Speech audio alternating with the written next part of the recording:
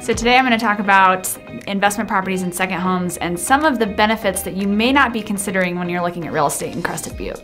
So everybody's really focused on the income that a property can generate for you. So it's either a short-term rental or a long-term rental.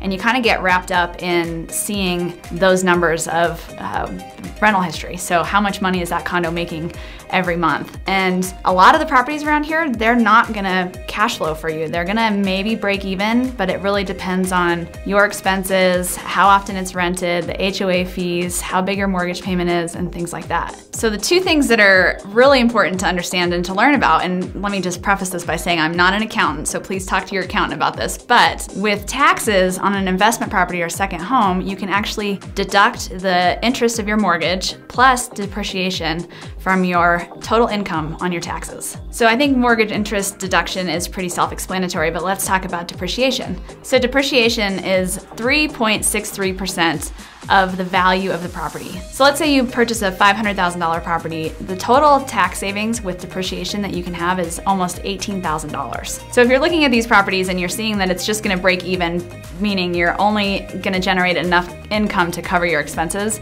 you're still gonna have a significant tax benefits with this investment property. So change your mindset a little bit on the way you look at investment properties and remember that income can be in the form of tax savings. So if you have any questions about second home ownership and investment properties in Crested Butte, give me a call today.